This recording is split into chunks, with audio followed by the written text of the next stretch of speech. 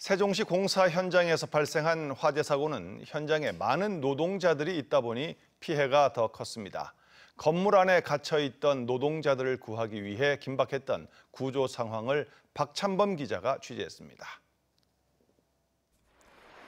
세종시의 한 주상복합 아파트 신축 공사 화재 현장입니다. 검은 연기가 사방에서 뿜어져 나오고 지상 1층 전부가 불바다가 됐습니다. 도심 하늘도 유독가스 영향으로 뿌옇게 변했습니다. 한쪽에선 구급대원들이 1분 1초를 다투며 쓰러진 노동자들의 상태를 살펴봅니다. 연기에 노출된 노동자들의 얼굴과 온몸이 까맣게 그을렸습니다. 일하고 있었는데 연기가 앞, 앞을 이렇게 확 가리더라고. 어, 그래가지고 계단으로 내려왔더니 계단에서 연기가 올라오고. 옥상에 고립된 노동자들도 손을 흔들며 필사적으로 구조 신호를 보냅니다. 곧이어 소방 헬기가 접근해 노동자들을 로프로 묶은 뒤 태우기 시작합니다. 큰 불길을 잡은 뒤에도 매서운 검은 연기가 지하에서 지상으로 뿜어져 나오면서 세종소방본부는 대응 2단계를 발령했습니다.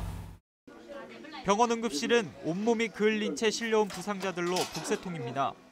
화상을 입거나 연기에 질식한 부상자들은 극심한 고통을 호소했고 상태가 악화되는 중상자도 늘고 있습니다.